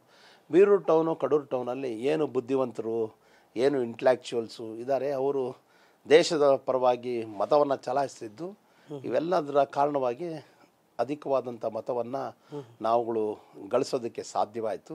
ನಮ್ಮ ವಿರೋಧಿಗಳು ಅವತ್ತು ಹೇಳ್ತಾ ಇದ್ರು ಬೆಳ್ಳಿ ಪ್ರಕಾಶ್ ಅವ್ರನ್ನ ಎಲ್ಲ ಥರದಲ್ಲೂ ನಾವು ಮಣಿಸ್ಬಿಟ್ಟಿದ್ದೀವಿ. ಬೆಳ್ಳಿ ಪ್ರಕಾಶ್ ಅವರು ಸುಮ್ಮನಾಗ್ಬಿಡ್ತಾರೆ ನಾವು ಹೈಯೆಸ್ಟ್ ಭಾಳಷ್ಟು ಮತವನ್ನು ನಾವು ತಗೊಂತೀವಿ ಅಂತ ಆದರೆ ಅವ್ರ ನಂಬಿಕೆ ಹುಸಿ ಆಯಿತು ಅನ್ನುವಂಥದ್ದು ಜಸ್ಟ್ ಒಂದು ಮಾತು ಅಂದರೆ ಜೆ ಡಿ ಎಸ್ ಜೊತೆ ಟೈಅಪ್ ಆಗ್ಬಿಟ್ಟವ್ರೆ ಅಂತ ಆರೋಪ ಮಾಡ್ತಿದ್ರಪ್ಪ ಮಾಡಿದ್ರು ಜೆ ಡಿ ಎಸ್ ಜೊತೆ ಟೈಅಪ್ ಬಟ್ ಆಗ್ಬಿಟ್ಟಿದ್ದಾರೆ. ಫಲಿತಾಂಶ ಮಾತ್ರ ಬಿಜೆಪಿ ಲೀಡ್ ಕೊಡಿಸ್ಬಿಟ್ರಿ ಅಲ್ಲಲ್ಲ ಜೆ ಡಿ ಎಸ್ ಜೊತೆ ಟೈಅಪ್ ಆಗಿದ್ದಾರೆ. ರೇವಣ್ಣ ಅವರು ಬೆಳ್ಳಿ ಪ್ರಕಾಶ್ ಅವ್ರ ಮನೆಗೆ ಬಂದು ಹೋಗ್ಬಿಟ್ಟಿದ್ದಾರೆ ಎಲ್ಲ ಹೇಳಿದ್ರು. ಆದರೆ ಅದಕ್ಕೆ ಉತ್ತರ ನಾವು ಏನೂ ಹೇಳಿರಲಿಲ್ಲ. ನಾವೇನು ಆ ನಮ್ಮ ವಿರೋಧಿಗಳ ಮಾತಿಗೆ ಯಾವುದೇ ಟೀಕೆ ಮಾಡಿರಲಿಲ್ಲ. ಉತ್ತರ ಫಲಿತಾಂಶ ಬಂದಾಗ ಅವರಿಗೆ ಗೊತ್ತಾಯ್ತು ಏನು ಎಂತ ಅಂತೇಳಿ. ಅದಕ್ಕೆ ಕೆಲವು ನಮ್ಮ ವಿರೋಧಿ ಸನ್ಮಿತ್ರವರ ಟೀಕೆಗಳಿಗೆ ನಾನು ಸಹಜವಾಗಿ ಯಾವುದೇ ಒಂದು ಮರು ಉತ್ತರ ಕೊಡಲ್ಲ. ಮರು ಉತ್ತರ ಬರುವಂಥ ಚುನಾವಣೆ ಕೊಡುತ್ತೆ ಅಂತ ನಾನು ನಂಬಿದ್ದೀನಿ. ಮತ್ತೊಂದು ವಿಚಾರ ಅಂತಂದರೆ ನೀವು ಕೇವಲ ಶಾಸಕರಾಗಿ ಅಷ್ಟೇ ಅಲ್ಲ ಅಪ್ಯಾಕ್ಸ್ ಬ್ಯಾಂಕ್ ಕೂಡ ಮುನ್ನಡೆಸ್ತಾ ಇದ್ದೀರಿ. ಅಪ್ಯಾಕ್ಸ್ ಬ್ಯಾಂಕ್ ಜವಾಬ್ದಾರಿ ಮತ್ತು ಶಾಸಕ ಜವಾಬ್ದಾರಿ ಎರಡೂ ನಿಭಾಯಿಸೋಕೆ ಕಷ್ಟ ಆಗಲ್ವಾ ಅಂತ? ಅಲ್ಲ ಈಗ ಒಬ್ಬ ಶಾಸಕ ಈ ರಾಜ್ಯದ ಮುಖ್ಯಮಂತ್ರಿ ಆದಾಗ ಅವರು ಮುಖ್ಯಮಂತ್ರಿ ಜವಾಬ್ದಾರಿಯನ್ನು ನಿರ್ವಹಿಸಬೇಕು ಶಾಸಕನ ಜವಾಬ್ದಾರಿಯನ್ನು ನಿರ್ವಹಿಸಬೇಕು. ಓಕೆ ಆ, ಜವಾಬ್ದಾರಿ ಅದನ್ನ ಜವಾಬ್ದಾರಿ ಅಂತ ಹೇಳೋದಕ್ಕಾಗಲ್ಲ. ಅದು ನಮಗೆ ಸಿಕ್ಕಂತ ನಾವು ಸಹಕಾರ ಕ್ಷೇತ್ರದಲ್ಲಿ ನಾವು ಸಹಕಾರಿಗಳಾಗಿ ಸಿಂಗಿಟ್ಕೆರೆ ಸಿಂಗಿಡ್ಕೆರೆ ವ್ಯವಸಾಯ ಪತ್ತಿನ ಸಹಕಾರದ ಅಧ್ಯಕ್ಷನಾಗಿ ಡಿ ಸಿ ಸಿ ಬ್ಯಾಂಕಿನ ನಿರ್ದೇಶಕನಾಗಿ ಕಳೆದ ಮೂರು ಬಾರಿಯಿಂದ ನಾನು ಸೇವೆಯನ್ನು ಸಲ್ಲಿಸ್ತಾ ಇರುವಂಥದ್ದು ನಮ್ಮ ನೆಚ್ಚಿನ ಮುಖ್ಯಮಂತ್ರಿಗಳು ಅಂದಿನ ಮುಖ್ಯಮಂತ್ರಿಗಳಾದಂಥ ಸನ್ಮಾನ್ಯ ಶ್ರೀ ಯಡಿಯೂರಪ್ಪ ಅವರ ಸಹಕಾರ ಇಂದಿನ ಮುಖ್ಯಮಂತ್ರಿಗಳಾದಂಥ ಬಸವರಾಜ ಬೊಮ್ಮಾಯಿ ಅವರ ಸಹಕಾರದಿಂದ ನಾನು ಮಧ್ಯಮ ವರ್ಗದಿಂದ ಬಂದಂಥವನು ಶಾಸಕನಾಗಿದ್ದೀನಿ. ಮತ್ತು ಅಪೆಕ್ಸ್ ಬ್ಯಾಂಕಿನ ಅಧ್ಯಕ್ಷನ ಆಗಿರುವಂಥದ್ದು. ಮತ್ತು ಆರ್ಥಿಕ ಕ್ಷೇತ್ರದಲ್ಲಿ ದೊಡ್ಡ ಜವಾಬ್ದಾರಿ ನಿರ್ವಹಿಸೋದು ಭಾಳಷ್ಟು ದೊಡ್ಡ ವಿಚಾರ ಆಗಿದ್ದರು ಕಳೆದ ಎರಡು ವರ್ಷಗಳಲ್ಲಿ ಏಳ್ನೂರ ನಲವತ್ತೆಂಟು ಕೋಟಿ ಲಾಭವನ್ನು ಮಾಡಿದ್ದೀವಿ ನಾವು. Seven hundred and forty eight crores ಲಾಭ ಮಾಡಿದ್ವಿ. ಬಟ್ ಸಹಕಾರಿ ಸಂಘ ಇವೆಲ್ಲ ಅಂದಾಗ ಹೆಚ್ಚು ಕಮ್ಮಿ ಎಲ್ಲ ಲಾಸ್ ಆಗ್ಬಿಡುತ್ತೆ ಲಾಸ್ ಮಾಡ್ಬಿಡ್ತಾರೆ ಅನ್ನೋ ಒಂದು ಜನಗಳ ಸಾಮಾನ್ಯ ಜನರ ಅಭಿಪ್ರಾಯ ಮಾತಾಡ್ತಿರ್ತಾರೆ. ಅಲ್ಲ ಅದ್ ಹೇಗೆ ಅಂತ? ಈಗ ವಿಚಾರ ಏನಂದ್ರೆ ಈ ಆರ್ಥಿಕ ಕ್ಷೇತ್ರದ ವಿಚಾರಗಳನ್ನ ಮಾತಾಡುವಂತ ಹಂತದಲ್ಲಿ ಜನ ಅದರ ಆಳ ಮತ್ತು ಅದರ ವಿಚಾರಗಳನ್ನ ತಿಳ್ಕಣದಲ್ಲೇ ಮಾತಾಡುವಂಥದ್ದು ಸರ್ವಸಾಮಾನ್ಯ ಆಗಿದೆ. ಈಗ ಏನಾರ ಹೇಳ್ತಿದ್ದಂಗೆ ಹೌದು ಅಲ್ಲಿ ಹಂಗಾಗಿದೆ ಅಂತೆ ಹಾಗಾಗಿದೆ ಅಂತೆ ಅಂತ ಒಂದು ದೊಡ್ಡ ಕಥೆನ ದಂತಕಥೆನ ಕಟ್ ಕಟ್ಟು ಕಟ್ಟಿ ಮಾತಾಡುವಂಥ ಬಟ್ ನೀವ್ ಲಾಭಕ್ಕೆ ತಂದ್ರಿ ಅಂತ? ಲಾಭಕ್ಕೆ ಅಂದರೆ ನಮ್ಮ ಎಲ್ಲ ಅಧಿಕಾರಿ ಮಿತ್ರರು, ನಾವು ಏನು ಸಾಲವನ್ನು ನೀಡಿದ್ದೀವಿ ಗ್ರಾಹಕರಿಗೆ, ಅವರ ಜೊತೆಯಲ್ಲಿ ನಿರಂತರ ಸಂಪರ್ಕ, ಅವರಿಂದ ಹಣವನ್ನು ಮರುಪಾವತಿ ಮಾಡಿಸುವಂಥದ್ದು, ಈ ಎಲ್ಲ ವಿಚಾರಗಳನ್ನು ನಾವು ಮಾಡಿ ನಾವು ಬ್ಯಾಂಕು ಮೊದಲನೇ ವರ್ಷದಲ್ಲಿ ಮುನ್ನೂರು ಕೋಟಿ ಲಾಭ ಆಯಿತು ಎರಡನೇ ವರ್ಷದಲ್ಲಿ ನಾನ್ನೂರ ನಲವತ್ತೆಂಟು ಕೋಟಿ ಲಾಭ ಆಯಿತು ಒಟ್ಟು ಏಳ್ನೂರ ನಲವತ್ತೆಂಟು ಕೋಟಿ ಲಾಭ ಆಗಿದೆ. ಮತ್ತು ಭಾಳ ಸೂಕ್ಷ್ಮವಾಗಿ ನಾವು ಯಾವ್ದಾರ ಒಬ್ಬ ಗ್ರಾಹಕ ಒಂದು ಬ್ಯಾಂಕಿಗೆ ಹೋಗಿ ಒಂದು ಸಾಲ ಕೇಳಿದಂಥ ಸಂದರ್ಭದಲ್ಲಿ ಅವನ ಐ ಟಿ ರಿಟರ್ನ್ಸನ್ನು ಕೇಳ್ತಾರೆ. ಮೂರು ವರ್ಷದ ಐ ಟಿ ರಿಟರ್ನ್ಸ್. ಓಕೆ. ಮೂರು ವರ್ಷದ ಐ ಟಿ ರಿಟರ್ನ್ಸಲ್ಲಿ ಅವನಿಗೆ ಅಲ್ಲಿ ಅವನು ಆ ಸಾಲವನ್ನು ಕಟ್ಟೋದಕ್ಕೆ ಶಕ್ತನಾಗಿದ್ದಾನೆ ಅನ್ನಂದ್ರೆ ಮಾತ್ರ ಸಾಲವನ್ನು ಕೊಡ್ತೀವಿ ಬ್ಯಾಂಕ್ನವರು. ಅದೇ ರೀತಿ ನಮ್ಮ ಅಪೆಕ್ಸ್ ಬ್ಯಾಂಕು ಕಳೆದ ಬಾರಿ ನೂರ ಒಂದು ಕೋಟಿ ಇನ್ಕಮ್ ಟ್ಯಾಕ್ಸ್ ಕಟ್ಟಿದ್ದೀವಿ ನಾವು. ನೂರ ಒಂದು ಕೋಟಿ, ನೂರು ಕೋಟಿ ಮೇಲೆ ಇನ್ಕಮ್ ಟ್ಯಾಕ್ಸ್ ಅನ್ನ ಕಟ್ಟಿರುವಂತ ಸಹಕಾರ ಬ್ಯಾಂಕ್ ಅಲ್ಲಿ ಕರ್ನಾಟಕದಲ್ಲಿ ನಮ್ದು ಒಂದು ಅನ್ನುವಂಥದ್ದನ್ನ ನಾನು ಈ ಸಂದರ್ಭದಲ್ಲಿ ಹೇಳೋದಕ್ಕೆ ಇಷ್ಟಪಡ್ತೇನೆ. ಈ ಬಾರಿ ನಾವು ಐನೂರ ಐವತ್ತು ಕೋಟಿ ರೂಪಾಯಿ ಲಾಭವನ್ನು ನಿರೀಕ್ಷಣೆ ಮಾಡಿದ್ದೀವಿ. ಬ್ಯಾಂಕ್ ಉತ್ತಮ ಸ್ಥಿತಿಯಲ್ಲಿದೆ. ಮತ್ತು ಎಲ್ಲ ಬ್ಯಾಂಕ್ಗಳಲ್ಲಿ ಏನೇನು ನ್ಯೂನ್ಯತೆಗಳಿರುತ್ತೆ ಆ ನ್ಯೂನ್ಯತೆಗಳು ಸಹಜವಾಗಿ ಎಲ್ಲ ಬ್ಯಾಂಕಲ್ಲೂ ಇರುತ್ತೆ. ಅಂಥ ಎಲ್ಲ ನ್ಯೂನ್ಯತೆಗಳನ್ನು ಸರಿಪಡಿಸ್ಕೊಂಡು ನಾವುಗಳು ರೈತರ ನೆರವಿಗೆ ಮತ್ತು ನಮ್ಮ ಬ್ಯಾಂಕ್ನ ಗ್ರಾಹಕರ ನೆರವಿಗೆ ಮತ್ತು ಅವರಿಗೆ ಸೇವೆನ ಕೊಡುವಂಥದ್ದು ನಮ್ಮ ಉದ್ದೇಶವಾಗಿರಬೇಕು ಹೊರತು ನಮ್ಮ ಸಕಾರಾತ್ಮಕವಾದಂಥ ವಿಚಾರಗಳನ್ನು ವಿಚಾರನ ಹೊರಗೆ ಮಾಧ್ಯಮದವರಾಗಲಿ ಅಥವಾ ಜನಗಳಾಗಲಿ ಮಾತಾಡಬೇಕೇ ಹೊರತು ನಮ್ಮ ನಕಾರಾತ್ಮಕವಾದಂಥದ್ದನ್ನು ಹೇಳೋದ್ರ ಮೂಲಕ ಯಾವ ಏಳಿಗೆನೂ ಆಗಲ್ಲ ಅನ್ನುವಂಥದ್ದನ್ನು ನಾನು ಹೇಳೋದಕ್ಕೆ ಇಷ್ಟಪಡ್ತೇನೆ. ಎಸ್ ಇನ್ನು ನಾವು ಎಗೇನ್ ನಾವು ಕಡೂರಿಗೆ ಹೋಗೋದೇ ಆದರೆ ಸಹಕಾರಿ ಕ್ಷೇತ್ರದ ಸಾಧನೆಗಳು ಒಂದಷ್ಟುಗಳನ್ನ ನೀವು ಹೇಳ್ತಾ ಇದ್ರಿ ಯಾವ ರೀತಿ ನೀವು ನಿಮ್ಮ ಆ ಮಟ್ಟದಿಂದ ಬಂದ್ರಿ ನಿಮ್ಮ ಲೋಕಲಿಂದ ಬೆಳೆದು ಬಂದ್ರಿ ಏನು ಅವಕಾಶ ಆಯಿತು ಅಂತ. ಬಟ್ ಕಡೂರು ವಿಧಾನಸಭಾ ಕ್ಷೇತ್ರ ನಾನು ಹೇಳಿದೆ, ಜನತಾ ಪರಿವಾರದ ಭದ್ರಕೋಟೆ ಅನ್ನುವಂಥ ಒಂದು ನಾಮಬಲ, J J D S Janata Dal ಈ ಥರ ಲೆಕ್ಕಾಚಾರಗಳು. ಬಟ್ ಕಡೂರಲ್ಲಿ ಕಮಲ ಪಕ್ಷವನ್ನು ಸ್ಟ್ರಾಂಗ್ ಮಾಡಿದ್ರಲ್ಲ, ಈಗ ಚಿಕ್ಕಮಗಳೂರು ಐದು ವಿಧಾನಸಭಾ ಕ್ಷೇತ್ರ ಬರುತ್ತೆ. ಒಂದು ಶೃಂಗೇರಿ ಒಂದು ನಿಮ್ಮ, ನಿಮ್ಮಲ್ಲಿಲ್ಲ, ಯಾಕಂದರೆ ಜೀವರಾಜ್ ಸೋತಿದ್ರು. ಅದು ಬಿಟ್ಟರೆ ನಾಲ್ಕನ್ನು ಚುನಾವಣೆಯನ್ನು ಗೆದ್ದಿದ್ರಿ. ಚಿಕ್ಕಮಗಳೂರು, ತರೀಕೆರೆ ಮೂಡಿಗೆರೆ, ಮತ್ತು ನಿಮ್ಮದು ಕಡೂರು. ಬಟ್ ಈ ಬಾರಿ ಚುನಾವಣೆಯಲ್ಲಿ ಏನು ಕತೆ? ಕ್ಲೀನ್ ಸ್ವೀಪ್ ಮಾಡೋ ಲೆಕ್ಕಾಚಾರ ಇಟ್ಕೊಂಡಿದ್ದೀರಾ? ಆಗತ್ತಾ? ಸ್ವೀಪ್ ಮಾ ನಮ್ಮ ಜಿಲ್ಲೆಯ ಐದು ಕ್ಷೇತ್ರಗಳು ಭಾರತೀಯ ಜನತಾ ಪಕ್ಷ ನಾವು ಗೆದ್ದೇ ಗೆಲ್ತೀವಿ ಅನ್ನುವಂಥದ್ದು ನಮ್ಮ ಆತ್ಮವಿಶ್ವಾಸ. ಆಯಾ ಕ್ಷೇತ್ರಗಳಲ್ಲಿ ನಮ್ಮ ಭಾರತೀಯ ಜನತಾ ಪಕ್ಷದ ಅಭ್ಯರ್ಥಿಗಳು ಪಕ್ಷದಿಂದ ಸೂಚಿಸಿದಂಥ ಅಭ್ಯರ್ಥಿಗಳು ನಿಶ್ಚಿತವಾಗಿ ಅವ್ರದ್ದೇ ಆದಂಥ ವ್ಯಕ್ತಿತ್ವವನ್ನು ಹೊಂದಿದ್ದಾರೆ. ಅವ್ರದ್ದೇ ಆದಂಥ ಸಂಘಟನೆ ಹೊಂದಿದ್ದಾರೆ. ಜೊತೆಯಲ್ಲಿ ಪಕ್ಷ ಸಹಿತ ಸದೃಢವಾಗಿ ನಿರಂತರವಾಗಿ ಸಂಘಟನೆ ಮಾಡ್ತಾ ಇದೆ. ಈ ಎಲ್ಲ ಅಂಶಗಳು ನಮಗೆ ಪೂರಕವಾಗಿದೆ. ಹಾಗಾಗಿ ನಾವು ಐದು ಕ್ಷೇತ್ರದಲ್ಲೂ ಭಾರತೀಯ ಜನತಾ ಪಕ್ಷದ ಮಡ್ಲಿಗೆ ಹಾಕ್ತೀವಿ ಅನ್ನುವಂಥದ್ದು ಆತ್ಮವಿಶ್ವಾಸದಿಂದ ಹೇಳೋದಕ್ಕೆ ಇಷ್ಟಪಡ್ತೇನೆ. ಬೆಳ್ಳಿ ಪ್ರಕಾಶ್ ಯಾವ ರೀತಿ ಅಂದರೆ ಯಡಿಯೂರಪ್ಪನವ್ರನ್ನ ಒಂದು ರೀತಿಯ ಕಡೂರಿನ ಮಾನಸ ಪುತ್ರ ಯಡಿಯೂರಪ್ಪನವ್ರು. ಯಡಿಯೂರಪ್ಪನವ್ರ ನೆಚ್ಚಿನ ಇದು ಬೆಳ್ಳಿ ಪ್ರಕಾಶ್. ಬಟ್ ಅವ್ರನ್ನ ಸಿ ಎಂ ಇಂದ ಇಳಿಸಿ ಬೊಮ್ಮ ಇವ್ರನ್ನ ಸಿ ಎಂ ಮಾಡಿದ್ರು. ಅದೇನೋ ಡ್ಯಾಮೇಜ್ ಆಗುತ್ತಾ ಪಾರ್ಟಿಗೆ? ಈ ಚೇಂಜಸ್ ಮಾಡಿರೋದು ಅಂತ. ಇಲ್ಲ ಇಲ್ಲ ಇಲ್ಲ ಇಲ್ಲ ಇಲ್ಲ. ನಮ್ಮ ನಾಯಕರಾದಂಥ ಯಡಿಯೂರಪ್ಪ ಅವರು ಈಗಾಗಲೇ ತಮಗೂ ಗೊತ್ತಿರುವಂಥ ವಿಚಾರ. ಮುಕ್ತವಾಗಿ ಅವರು ರಾಜೀನಾಮೆನ ನೀಡಿದ್ದಾರೆ ರಾಜೀನಾಮೆ ನೀಡಿದ ನಂತರ ಪಕ್ಷದ ತೀರ್ಮಾನದಂತೆ ಬಸವರಾಜ ಬೊಮ್ಮಾಯಿ ಅವರಾಗಿದ್ದಾರೆ. ಇವತ್ತು ಸನ್ಮಾನ್ಯ ಶ್ರೀ ಯಡಿಯೂರಪ್ಪ ಅವ್ರ ಬಗ್ಗೆ ಹೇಳಬೇಕು ಅಂದರೆ, ಇವತ್ತು ನನ್ನಂಥ ಒಬ್ಬ ಮಧ್ಯಮ ವರ್ಗದಿಂದ ಬಂದಂಥ ಒಬ್ಬ ವ್ಯಕ್ತಿನ ಗುರ್ಸಿ, ಇವತ್ತು ನಾನು ಏನು ಶಾಸಕನಾಗಿದ್ದೀನಿ, ಏನು ಅಪೆಕ್ಸ್ ಬ್ಯಾಂಕಿನ ಅಧ್ಯಕ್ಷನಾಗಿದ್ದೀನಿ, ಎಲ್ಲದರ ಹಿಂದೆ ಇರುವಂಥದ್ದು ಸನ್ಮಾನ್ಯ ಶ್ರೀ ಯಡಿಯೂರಪ್ಪ ಅವರು. ಇವತ್ತು ನಮಗೆ ಏನು ರಾಜಕೀಯ ಸ್ಥಾನಮಾನಗಳಿರ್ಬೋದು ಅಥವಾ ಸಮಾಜದಲ್ಲಿ ಸಿಕ್ಕಿರುವಂಥ ಏನು ಮನ್ನಣೆ ಇರ್ಬೋದು ಅದೆಲ್ಲ ಯಡಿಯೂರಪ್ಪರಿಗೆ ಅರ್ಪಿತ ಅನ್ನುವಂಥದ್ದನ್ನು ನಾನು ಈ ಸಂದರ್ಭದಲ್ಲಿ ಹೇಳೋದಕ್ಕೆ ಇಷ್ಟಪಡ್ತೇನೆ. ಏನು ಹೇಳ್ತೀರಿ ಯಡಿಯೂರಪ್ಪನವರು? ಯಡಿಯೂರಪ್ಪ ಈ ಬಾರಿ ಚುನಾವಣೆ ಯಾಕೆಂದ್ರೆ ಎಲ್ಲರೂ ಏನಂತಾರೆ ಯಡಿಯೂರಪ್ಪ ಅವ್ರನ್ನ ವಯಸ್ಸಾಯ್ತಪ್ಪ ಇನ್ನೇನೋ ಮಾಡಲ್ಲ ಅಂತ ಬಟ್ ಅವ್ರು ಹೇಳಿದ್ರು. ಕಡೆ ಭಾಷಣ ಕೇಳಿದೆ. ಬಿಜೆಪಿಯನ್ನು ಅಧಿಕಾರಕ್ಕೆ ತರೋದೇ ಗುರಿ ರಾಜ್ಯವ್ಯಾಪಿ ಸಂಚಾರ ಮಾಡ್ತೀನಿ ಓಡಾಡ್ತೀನಿ ಅಧಿಕಾರಕ್ಕೆ ತರ್ತೀನಿ ಅಂತ ಹೇಳ್ತಾರೆ. ಇನ್ನು ಕೂಡ ಯಡಿಯೂರಪ್ಪನವ್ರಿಗೆ ಆ ಶಕ್ತಿ ಇದೆಯಾ? ಅಯ್ಯೋ ಯಡಿಯೂರಪ್ಪ ಅವರು ಅವರ ಕಾಲನ್ನ ನಮ್ಮ ಕಡೂರಿಗೆ ಸೋಗ್ಸಿದ್ರೆ ಸಾಕು. ಕಡೂರು ಅದರ ರಂಗೆ ಬೇರೆ ಆಗುತ್ತೆ. ಯಡಿಯೂರಪ್ಪ ಅವರು ಬರ್ತಾರೆ ಅಂದ್ರೆ ನಾವು ಏನು ಹೇಳದೇ ಬೇಡ. ಜನ ವಾಲಂಟಿಯರ್ ಆಗಿ ಸ್ವಯಂ ಪ್ರೇರಿತರಾಗಿ ಕಾರ್ಯಕ್ರಮಗಳಲ್ಲಿ ಸೇರುವಂಥದ್ದು ಇನ್ನ ಅವರು ಎಲ್ಲಿವರೆಗೆ ವಿರಾಜಮಾನವಾಗಿರ್ತಾರೋ ಅಲ್ಲಿವರೆಗೂ ಇರುತ್ತೆ ಅನ್ನೋದು ನಾನು ಖಚಿತವಾಗಿ ಹೇಳ್ತೀನಿ. ವಿಜಯೇಂದ್ರ ಅವರು ಯಾಕೆಂದರೆ ಶಿಕಾರಿಪುರದವ್ರು ಸ್ಪರ್ಧೆ ಮಾಡ್ತಾರೆ ಅಂತ ಈಗಾಗಲೇ ಹೇಳಿದ್ರು ಮತ್ತೆ ಹೈಕಮಾಂಡ್ ನಿರ್ಧಾರ ಮಾಡುತ್ತೆ ಅಂತ ಯಡಿಯೂರಪ್ಪ ಹೇಳಿದ್ದಾರೆ. ಬಟ್ ವಿಜೇಂದ್ರ ಪಾರ್ಟಿಗೆ ಅಸೆಟ್ ಆಗ್ತಾರಾ? ಅವರು ದೊಡ್ಡ ಲೀಡರ್ ಆಗಿ ಎಮರ್ಜ್ ಆಗ್ಬೋದಾ ವಿಜೇಂದ್ರ? ಡೆಫಿನೆಟ್ಲಿ ಅವರು ಯಡಿಯೂರಪ್ಪ ಅವರ ಪುತ್ರರಾಗಿ ಈ ರಾಜಕೀಯದಲ್ಲಿ ತಮ್ಮನ್ನು ತೊಡಸ್ಕೊಂಡು ಇಡೀ ರಾಜ್ಯಾದ್ಯಂತ ಪ್ರವಾಸ ಮಾಡೋದ್ರ ಮೂಲಕ ಸನ್ಮಾನಿಸಿ ಶ್ರೀ ಯಡಿಯೂರಪ್ಪ ಅವರಿಗೆ ಯಾವ ರೀತಿ ಜನ ಮನ್ನಣೆ ಕೊಡ್ತಿದ್ದಾರೆ ಅದನ್ನು ತಾವುಗಳು ಸೂಕ್ಷ್ಮವಾಗಿ ಗಮನಿಸಿದರೆ ಗೊತ್ತಾಗುತ್ತೆ. ಎಲ್ಲ ಕಾರ್ಯಕ್ರಮಗಳಲ್ಲಿ ಯಡಿಯೂರಪ್ಪ ಅವರಿಗೆ ಯಾವ ರೀತಿ ಜನ ಒಂದು ಚಪ್ಪಾಳೆ ಮೂಲಕ ಅವರ ಹೃದಯ ಅಭಿಮಾನವನ್ನು ತೋರಿಸ್ತಾರೆ. ಅದೇ ರೀತಿ ವಿಜೇಂದ್ರ ಅವರಿಗೂ ತೋರಿಸುವಂಥದ್ದು, ಮತ್ತು ವಿಜೇಂದ್ರ ಅವರು ಎಲ್ಲಿ ಬರ್ತಾರೆ ಅಲ್ಲಿ ಜನಗಳು ಸೇರುವಂಥದ್ದು. ಯಡಿಯೂರಪ್ಪರನ್ನ ವಿಜೇಂದ್ರ ಅವರಲ್ಲೇ ನೋಡುವಂಥ ಪ್ರಯತ್ನವನ್ನು ಸಾಕಷ್ಟು ಜನ ನಮ್ಮ ಪಕ್ಷದ ಕಾರ್ಯಕರ್ತರು ಮಾಡ್ತಾರೆ. ಮತ್ತು ಪಕ್ಷದ ಬಗ್ಗೆ ನಿಷ್ಠೆಯಿಂದ ಕೆಲಸ ಮಾಡುವಂಥದ್ದು, ಪಕ್ಷಕ್ಕೆ ಬದ್ಧ, ಶಿಸ್ತುಬದ್ಧರಾಗಿ ಕೆಲಸ ಮಾಡುವಂಥದ್ದನ್ನು ವಿಜೇಂದ್ರ ಅವರು ರೂಢಿಸ್ಕೊಂಡಿದ್ದಾರೆ ಅನ್ನುವಂಥದ್ದು ನಾನು ಹೇಳೋದಕ್ಕೆ ಇಷ್ಟಪಡ್ತೇನೆ. ಬಟ್ ಕಾಂಗ್ರೆಸ್ ಒಂದು ರಾಜ್ಯ ಡಬಲ್ ಇಂಜಿನ್ ಸರ್ಕಾರ ಕೇಂದ್ರದಲ್ಲಿ ಬಿಜೆಪಿ ರಾಜ್ಯದಲ್ಲಿ ಬಿಜೆಪಿ ಡಬಲ್ ಇಂಜಿನ್ ಸರ್ಕಾರ ಇದ್ರೆ ಒಳ್ಳೇದಾಗತ್ತೆ ಅನ್ನೋ ಒಂದಷ್ಟು ಚರ್ಚೆಗಳನ್ನ ಬಿಜೆಪಿ ಅವರು ಯಾವಾಗಲೂ ಜನರ ಮುಂದಿಡ್ತಾರೆ ಬಟ್ ಕಾಂಗ್ರೆಸ್ ಅವರು ಹೇಳ್ತಾರಿಲ್ಲ ಇದು ಫೋರ್ಟಿ ಪರ್ಸೆಂಟ್ ಸರ್ಕಾರ ಬರೀ ಲೂಟಿ ಮಾಡ್ತಾವ್ರೆ ಅಂತ ಬಿಜೆಪಿ ಸರ್ಕಾರದ ಮೇಲೆ ಆರೋಪ ಮಾಡ್ತಾರೆ. ಅಲ್ಲ ಭ್ರಷ್ಟಾಚಾರದ ಬಗ್ಗೆ ಇವತ್ತು ದೇಶ ಇರ್ಬೋದು ಅಥವಾ ಪ್ರಪಂಚ ಇರ್ಬೋದು ಭ್ರಷ್ಟಾಚಾರದ ಮೇಲೆ ಮಾತಾಡುವಂಥ ಸಂದರ್ಭದಲ್ಲಿ ಅವರು ಅವ್ರದ್ದು ಒಂದ್ಸರಿ ಅವ್ರ ಮೆಲ್ಕಾಕಂಬೇಕು ಮನಸ್ಸಲ್ಲಿ ನಾವೇನು ನಾವೇನು ಪರಿಶುದ್ಧರ ನಾವೇನು ಹಾಗೆ ಹೀಗೆ ಅಂತ ಹಂಗಂತೇಳಿ ನಾನು ಭ್ರಷ್ಟಾಚಾರನ ಪ್ರೋತ್ಸಾಹ ಮಾಡ್ತಾ ಇಲ್ಲ. ಹೇಳುವಂಥವ್ರು ಎಷ್ಟು ಮಟ್ಟಿಗೆ ಪ್ರಾಮಾಣಿಕರು ಅಥವಾ ಹೇಳ್ತಾ ಇರುವಂಥ ನಾವು ಆರೋಪ ಅದರಲ್ಲಿ ಎಷ್ಟು ಮಟ್ಟಿಗೆ ಸತ್ಯ ಇದೆ ಅನ್ನುವಂಥದ್ದನ್ನು ಅವ್ರು ಯೋಚನೆ ಮಾಡಬೇಕು. ಆ ಥರ ಆ ಥರ ಎಲ್ಲ ಭ್ರಷ್ಟಾಚಾರದ ಅವ್ರು ಏನು ಹೇಳ್ತಾರೆ ಅವರು ಏನು ಕೋಟ್ ಮಾಡ್ತಾರೆ ಅವ್ರು ಏನು ಎಲ್ಲ ಕಡೆ ಹೋದ ಕಡೆ ಎಲ್ಲ ಹೇಳ್ತಾರೆ. ಅದನ್ನೆಲ್ಲ ಹೇಳೋದಾದರೆ ನಮ್ಮ ಕ್ಷೇತ್ರದಲ್ಲಿ ನಾವು ಈಗ ಸುಮಾರು ಒಂದು ಯೋಜನೆಗಳು ಎಲ್ಲವೂ ಸೇರಿದರೆ ಒಂದು ಮೂರು ಸಾವಿರ ಚಿಲ್ಲರೆ ಕೋಟಿ ಆಗುತ್ತೆ. ಮೂರು ಸಾವಿರ ಚಿಲ್ಲರೆ ಕೋಟಿಗೆ ಅವ್ರು ಹೇಳೋವಂಥದ್ದನ್ನೆಲ್ಲ ಕ್ಯಾ ಏನು ಕ್ಯಾಲ್ಕುಲೇಟ್ ಮಾಡಿದರೆ. ಅಂದರೆ ಲೆಕ್ಕ ಹಾಕಿದರೆ ಅಷ್ಟು ಆಗುತ್ತಾ ಯಾರಾದರೂ ಕೊಡ್ತಾರಾ ಮಾಡ್ತಾರಾ ಅವೆಲ್ಲ ಅವ್ರಿಗೆ ಗೊತ್ತಿದೆ. ಆದರೂ ಗೊತ್ತಿದ್ರೂ ಸಹಿತ ಅವರಿಗೆ ಯಾರು ಏನು ಮಾಡಲ್ಲ ಅಂತ ಗೊತ್ತಿದ್ರೂ ಸಹಿತ ಆ ಮಟ್ಟದ ಆರೋಪ ಮಾಡ್ತಾರೆ ಅಂದರೆ ಇದು ನಿಜವಾಗ್ಲೂ ಪ್ರಜಾಪ್ರಭುತ್ವದಲ್ಲಿ ನಾವು ಜನಪ್ರತಿನಿಧಿಗಳು ಒಬ್ಬರ ಮೇಲೆ ಒಬ್ಬರು ಆರೋಪವನ್ನ ಮಾಡ್ತಾ ನಮ್ಮ ಘನತೆನ ಕುಗ್ಗಿಸ್ಕೊಂತಿದ್ದೀವಿ ಅನ್ನುವಂಥದ್ದು ನನ್ನ ಸ್ಪಷ್ಟವಾದಂಥ ಅಭಿಪ್ರಾಯ. ಸ್ಪಷ್ಟವಾಗಿ ಬೆಳ್ಳಿ ಪ್ರಕಾಶ್ ಅವ್ರ ಮಾತು ಅಂದ್ರೆ ಕಾಂಗ್ರೆಸ್ ಅವರು ಕೂಡ ಕನ್ನಡದಲ್ಲಿ ಮುಖ ನೋಡ್ಕೊಳ್ಳಿ ಗೊತ್ತಾಗತ್ತೆ ಅಂತ ಹೌದು.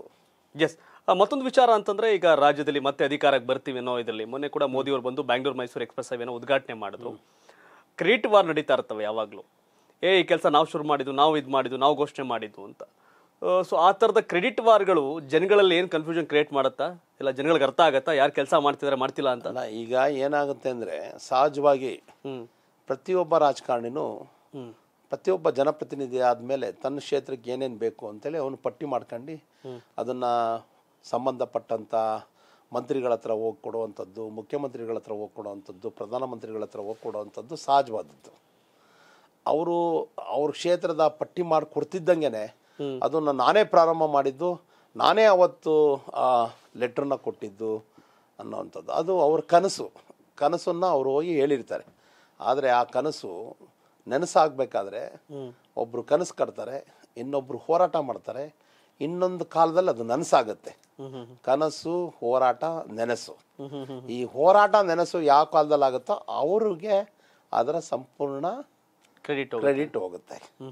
ಹಾ, ಬರೇ ನಾನು ನನ್ನ ಕ್ಷೇತ್ರದ ಎಲ್ಲ ಅದನ್ನು ನಮ್ಮ ಕ್ಷೇತ್ರದಲ್ಲಿ ಏನೇನಾಗಬೇಕು ಅಂತ ಎಲ್ಲವನ್ನು ನಾನು ಲಿಖಿತವಾಗಿ ತಾಮಂದಿ ಮುಖ್ಯಮಂತ್ರಿಗಳ ಹತ್ರ ಕೊಟ್ಟು ನನ್ನ ಅಧಿಕಾರ ಮುಗಿದ ಮೇಲೆ ಇನ್ನೊಬ್ಬರು ಯಾರೋ ಬಂದಂಥ ಸಂದರ್ಭದಲ್ಲಿ ಅವರು ಆ ಕೆಲಸವನ್ನು ಮಾಡಿದಾಗ ನಾನಿದ್ದಾಗಲೇ ಆ ಪತ್ರ ಕೊಟ್ಟಿದ್ದೆ. ಈಗ ಆಯ್ತು ಅಂತಂದ್ರೆ ಅದಕ್ಕೆ ಯಾವುದೇ ತರವಾದಂತ ಅರ್ಥ ಇಲ್ಲ. ಜಾರಿ ಮಾಡಿದವ್ರಿಗೆ ಅವಕಾಶ ಯಾರು ಜಾರಿ ಮಾಡಿ ನಾನು ಕೇವಲ ಒಬ್ಬ ಜನಪ್ರತಿನಿಧಿ ತನ್ನ ಕೋರಿಕೆಯನ್ನು ಸಲ್ಲಿಸಿದ ತಕ್ಷಣ ಅವನೇ ಮಾಡ್ದ ಅಂತಿಲ್ಲ. ಅಥವಾ ಕೋರಿಕೆನ ಸಲ್ಲಿಸಿದ ಮೇಲೆ ಅದು ಅಸ್ತು ಅಂದಮೇಲೆ ಅದಕ್ಕೂ ಅವನೇ ಮಾಡ್ದ ಅಂತಿಲ್ಲ. ಆದರೆ ಹಣ ಬಿಡುಗಡೆ ಮಾಡಿ ಯಾರು ಅದನ್ನು ಕೆಲಸ ಕಾರ್ಯವನ್ನು ನಡೆಸಿ ಚಾಲನೆ ಕೊಟ್ಟು ಮಾಡ್ತಾರೋ ಅವ್ರಿಗೆ ಅದರದ್ದು ಬರುತ್ತೆ. ಅದಕ್ಕೆ ಕನಸು, ಹೋರಾಟ, ನನಸು. ಅದು ಒಂದೇ ಕಾಲದಲ್ಲಾದ್ರೆ ಕನಸು ಹೋರಾಟ ನನಸು ಮೂರು ಒಂದೇ ಕಾಲದಲ್ಲಾದ್ರೆ ಒಬ್ನಿ ಕ್ರೆಡಿಟ್ ಬರುತ್ತೆ. ಬರೇ ಕನಸನ್ನ ಎಲ್ಲ ಗಾಂಧೀಜಿ ಅವರಿಂದ ಹಿಡಿದು ಎಲ್ಲರೂ ಕನಸನ್ನ ಇದು ಮಾಡಿದ್ದಾರೆ. ಆದರೆ ನೆನಸು ಮಾಡದಂಥದ್ದು ನರೇಂದ್ರ ಮೋದಿ ಅವರು ಈ ದೇಶದಲ್ಲಿ ಹಲವಾರು ಯೋಜನೆಗಳನ್ನ ಜಾರಿಗೊಳಿಸೋದ್ರ ಮೂಲಕ ಒಂದು ಕ್ರಾಂತಿನ ಮಾಡಿದ್ದಾರೆ ಅನ್ನುವಂಥದ್ದು ಇದು. ಹೋರಾಟ ಮಾಡಿರ್ಬೋದು ಕನಸು ಕಟ್ಟಿರ್ಬೋದು. ಆದರೆ ಜಾರಿ ಮಾಡಿ ಅದನ್ನ ಯಥಾವತ್ತಾಗಿ ಜಾರಿ ತಂದು ಜನಗಳಿಗೆ ಉಪಯೋಗ ಮಾಡಿದಂಥವ್ರು ನರೇಂದ್ರ ಮೋದಿ ನರೇಂದ್ರ ಮೋದಿ ಅವರು ಸನ್ಮಾನ್ಯ ಶ್ರೀ ನರೇಂದ್ರ ಮೋದಿ ಅವರು ನಿತಿನ್ ಗಡ್ಕರಿ ಅವರ ಇಡೀ ಭಾರತ ದೇಶದ ಒಂದು ಚಿತ್ರಣ.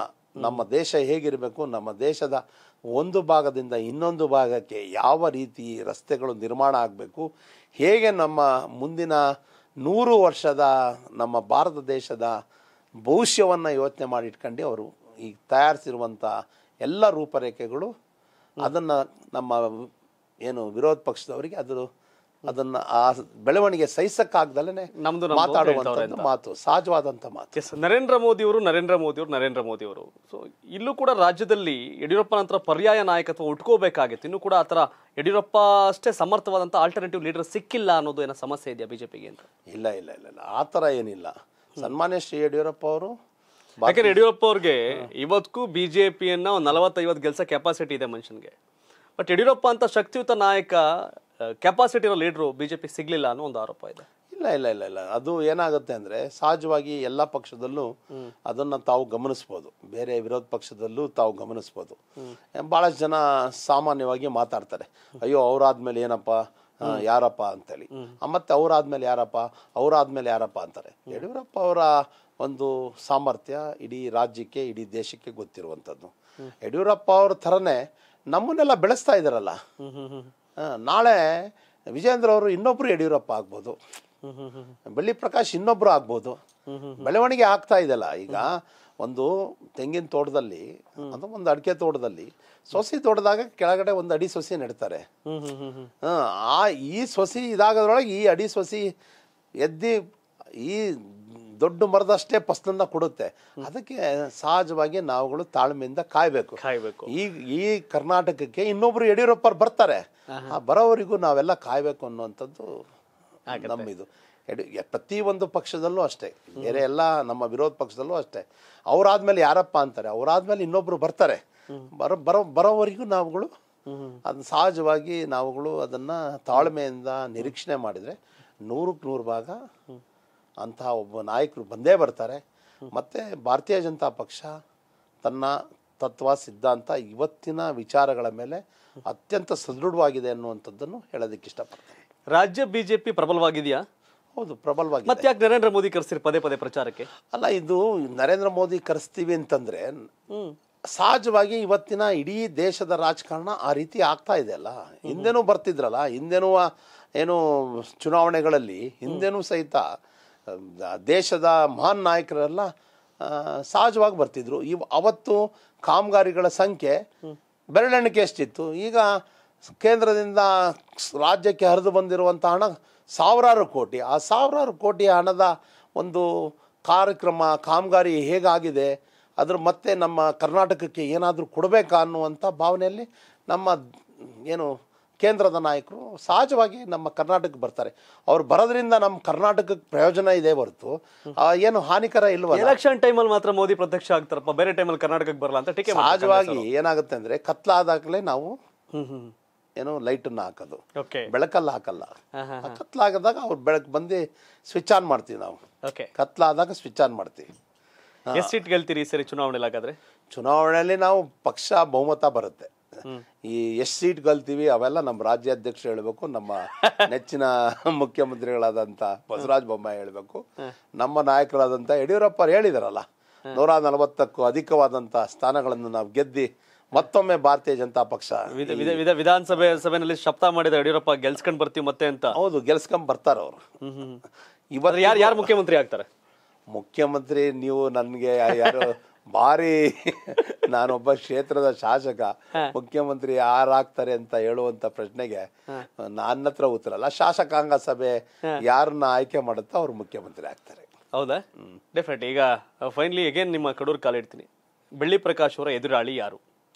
ಎದುರಾಳಿ ಯಾರು ಅಂತ ನಾನು ಹೆಂಗೆ ಹೇಳೋದು ನಾನೇನು ಮ್ಯಾಚ್ ಫಿಕ್ಸಿಂಗ್ ಮಾಡೋಕ್ಕಾಗತ್ತ? ಬೇರೆ ಪಕ್ಷದಲ್ಲಿ ಇಂಥವರೇ ಅಭ್ಯರ್ಥಿ ಹಾಕೊಡಿ ಅಂತ. ಹಾಗಾಗಿ ಅವ್ರಿಗೆ ನಮ್ಮ ವಿರೋಧ ಪಕ್ಷದ ನಮ್ಮ ಹಿರಿಯ ನಾಯಕರು ಅವ್ರು ಯಾರು ತೀರ್ಮಾನ ಮಾಡ್ತಾರೋ ಅವರೇ ಆಗ್ತಾರೆ.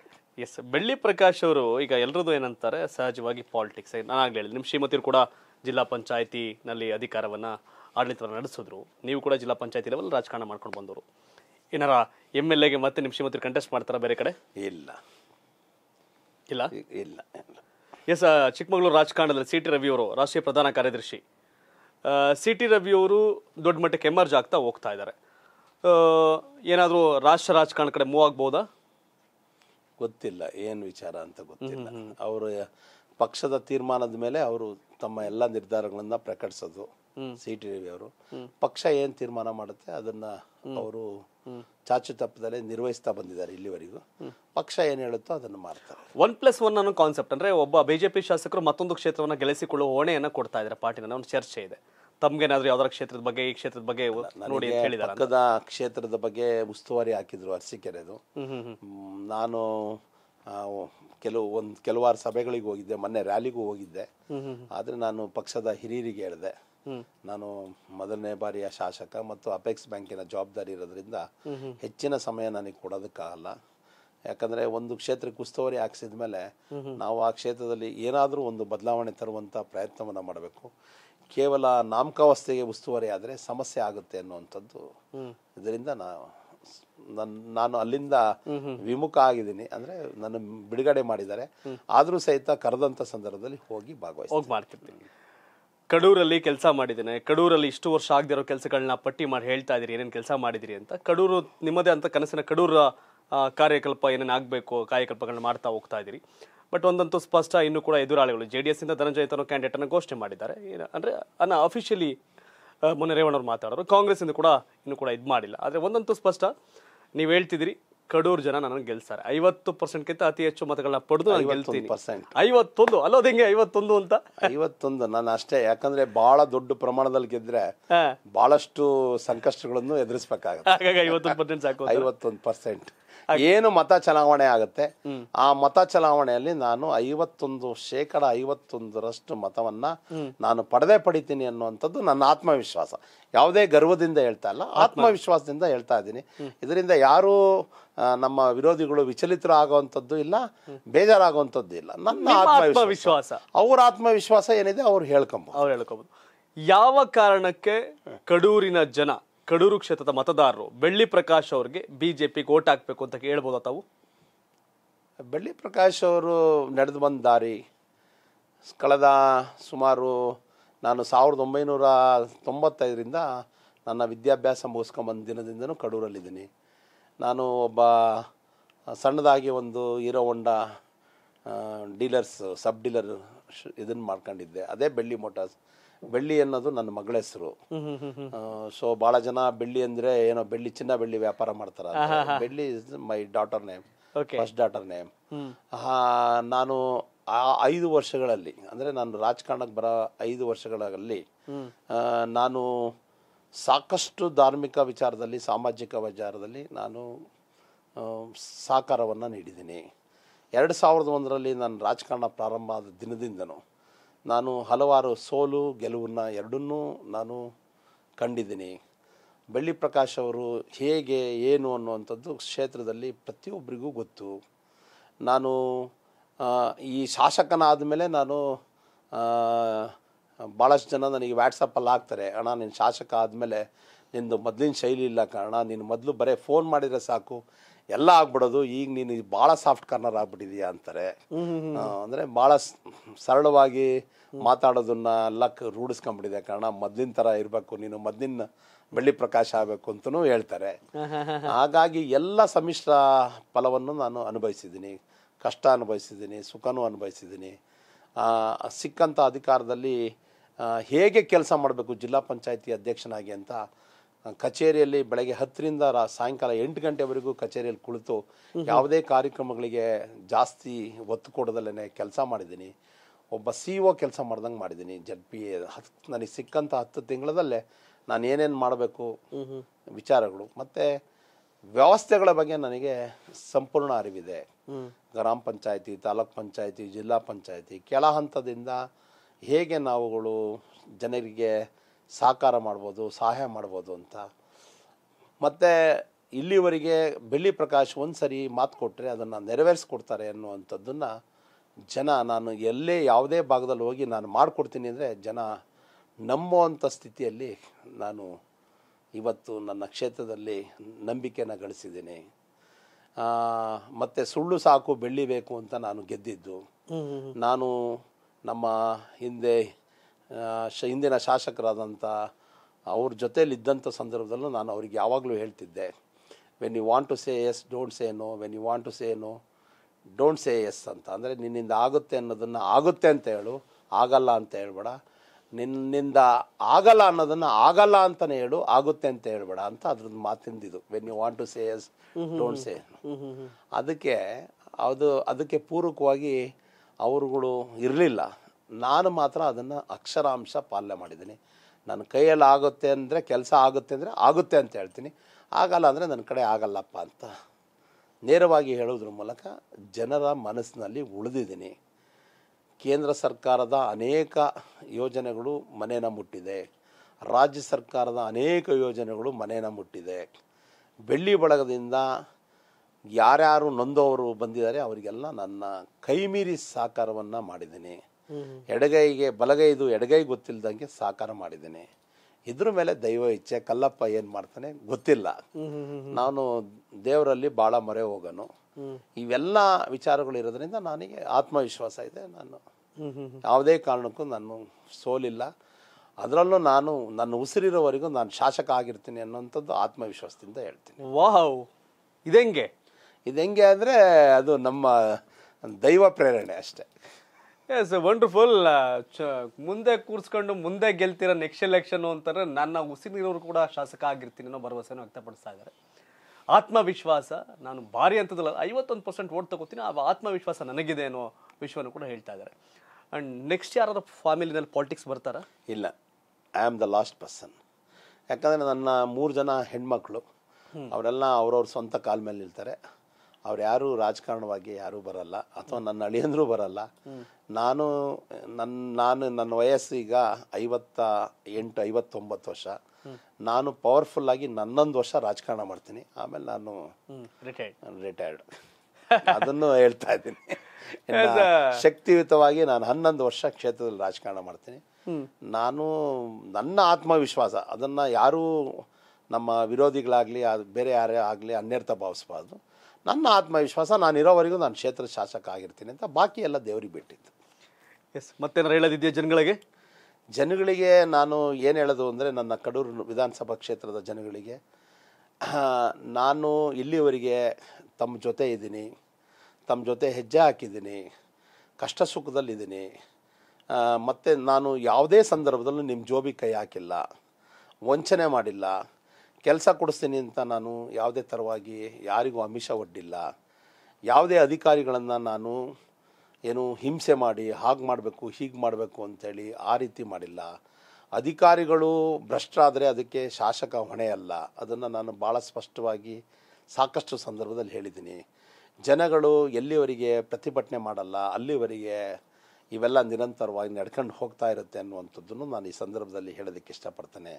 ಇವತ್ತು ನಿನ್ನ ನಿಮ್ಮ ಕಣ್ಮುಂದಿರುವಂಥ ಬೆಳ್ಳಿ ಪ್ರಕಾಶು ಹೇಗೆ ನಿಮ್ಮ ಜೊತೆ ಇದ್ದಾರೆ, ಹೇಗೆ ಕೆಲಸವನ್ನು ಮಾಡ್ತಾ ಇದ್ದಾರೆ, ರಾಜ್ಯದ ಅಪೆಕ್ಸ್ ಬ್ಯಾಂಕ್ ಅಧ್ಯಕ್ಷನಾಗಿ ಕ್ಷೇತ್ರದ ಎಲ್ಲ ಕೃಷಿ ಪತ್ತಿನ ಸಹಕಾರ ಸಂಘದಲ್ಲಿ ಇವತ್ತು ಎಷ್ಟು ರೈತರಿಗೆ ಅನುಕೂಲ ಆಗಿದೆ ಅನ್ನುವಂಥದ್ದು ಒಮ್ಮೆ ತಾವುಗಳು ಯೋಚನೆ ಮಾಡಿ, ನೀರಾವರಿ ಕ್ಷೇತ್ರದಲ್ಲಿ ಏನೆಲ್ಲ ಆಗಿದೆ ಅನ್ನೋದು ಯೋಚನೆ ಮಾಡಿ ಇನ್ಸ್ಟೆಂಟಾಗಿ ಇಪ್ಪತ್ತೊಂದು ಚೆಕ್ ಡ್ಯಾಮ್ ನಿರ್ಮಾಣ ಮಾಡೋದ್ರ ಮೂಲಕ ಆಯಾ ಭಾಗದ ಅಂತರ್ಜಲ ಹೇಗೆ ಅಭಿವೃದ್ಧಿ ಆಗಿದೆ ಅನ್ನೋದನ್ನು ಯೋಚನೆ ಮಾಡಿ. ಮತ್ತು ಎಲ್ಲ ನಮ್ಮ ಬಾರ್ಡ್ರ್, ಕಡೂರಿನ ಬಾರ್ಡ್ರನ್ನ ಎಲ್ಲ ರಸ್ತೆಗಳು ಅಭಿವೃದ್ಧಿ ಆಗಿರುವಂಥದ್ದು, ಎಲ್ಲ ಭಾಗಕ್ಕೂ ರಸ್ತೆಗಳನ್ನು ಕಲ್ಪಿಸಿಕೊಟ್ಟಿರುವಂಥದ್ದು ಅನೇಕ ಹಳ್ಳಿಗಳಲ್ಲಿ ಸ್ವತಂತ್ರ ಬಂದಾಗಿಂದ ಒಂದೇ ಒಂದು ರೋಡ್ ಆಗಿಲ್ದಲೇ ಇರುವಂಥ ಊರುಗಳಿಗೂ ರಸ್ತೆಗಳನ್ನು ಸಂಪರ್ಕ ಸಂಪರ್ಕ ರಸ್ತೆನ ಮಾಡಿಕೊಟ್ಟಿರುವಂಥದ್ದು. ಅನೇಕ ಕೆಲಸಗಳನ್ನು ಮಾಡಿದ್ದೀನಿ. ನಾನು ರಾಜಕೀಯವನ್ನು ಪ್ರವೃತ್ತಿಯಾಗಿ ಆರಿಸ್ಕೊಂಡಿದ್ದೀನಿ. ನಾನು ರಾಜಕೀಯವನ್ನು ಉದ್ಯಮವಾಗಿ ಮಾಡ್ಕೊಂಡಿಲ್ಲ. ಬರುವಂಥ ದಿನಗಳಲ್ಲಿ ನಿಮ್ಮೆಲ್ಲರ ಆಶೀರ್ವಾದ ನನ್ನ ಮೇಲಿರಲಿ. ನಾನು ನಿಮ್ಮ ನಿಮ್ಮಿಂದ ನಾನು ನಿರೀಕ್ಷಣೆ ಮಾಡೋದು ಆಶೀರ್ವಾದವನ್ನು. ಆಶೀರ್ವಾದವನ್ನು ನೀವು ಮಾಡೇ ಮಾಡ್ತೀರಿ ಅನ್ನುವಂಥದ್ದು ನನಗೆ ನಂಬಿಕೆ ಇದೆ. ನಾನು ಕೆಲಸ ಮಾಡಿದ್ದೀನಿ.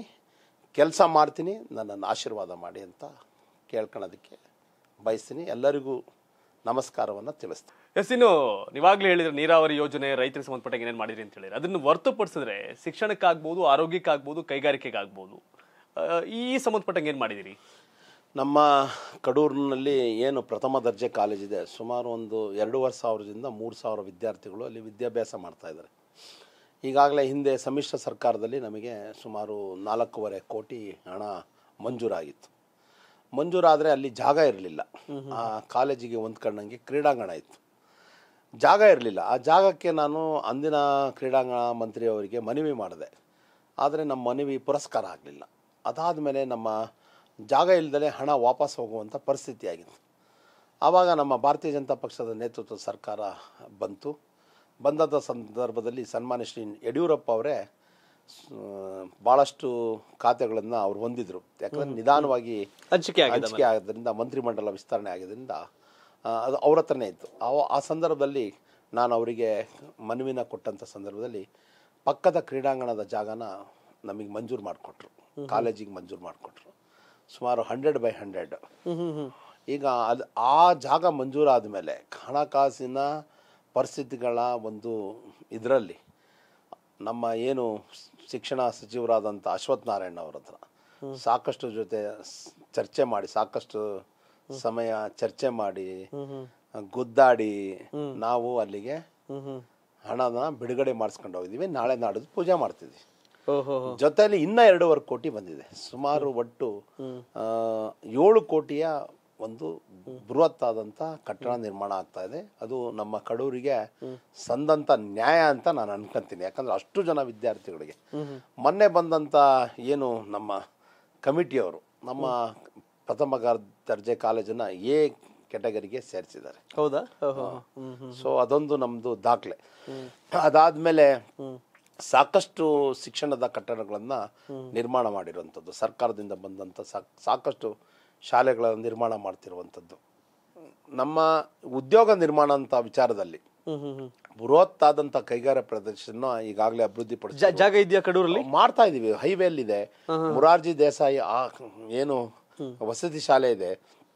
ಅದ್ರ ಎದುರುಗಡೆನೆ ಇನ್ನೂರ ಹತ್ತು ಎಕರೆ ಸುಮಾರು ವರ್ಷಗಳ ಒಂದು ಹದಿನೈದು ಹದಿನಾರು ವರ್ಷಗಳಿಂದನೇ ಅಕ್ವೈರ್ ಮಾಡಿದ್ರು.